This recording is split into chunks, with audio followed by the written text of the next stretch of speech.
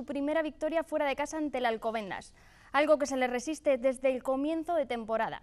El último fiasco a domicilio que vivieron los navarros fue contra el Granollers.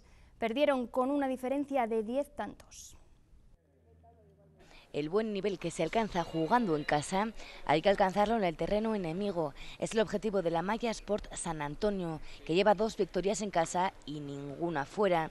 Y eso hay que cambiarlo. Aunque eso sí, los puntos obtenidos en Pamplona dan cierta tranquilidad. Con la tranquilidad de haber sacado un poco los dos partidos de casa, tener un poco esos cuatro puntos ahí y bueno, con la idea de, desde luego, de mejorar un poco el rendimiento que hemos tenido fuera hasta ahora, ¿no? En casa hemos estado bien, pero nos falta un poco ese paso ahora de empezar a jugar a este nivel también fuera de casa. Los de Juan Tapecechea ya están trabajando para poder mejorar el juego en un campo complicado, el del Alcobendas. Es una salida complicada, este año ganar fuera de casa va a ser muy complicado en todos los sitios y Alcomendas realmente es una pista difícil, ¿no? pero bueno, nosotros por lo menos vamos con la idea de hacer un partido un poco mejor que el que hicimos en Granollers, de jugar al nivel que hemos jugado este sábado aquí o el anterior, por ejemplo, contra Cuenca, ¿no? esa es un poco nuestra idea. Este próximo sábado a las 6 de la tarde, la Maya Sport tiene la oportunidad, además de mejorar el rendimiento, de sumar dos puntos más en su casillero y de hacerlo fuera de casa.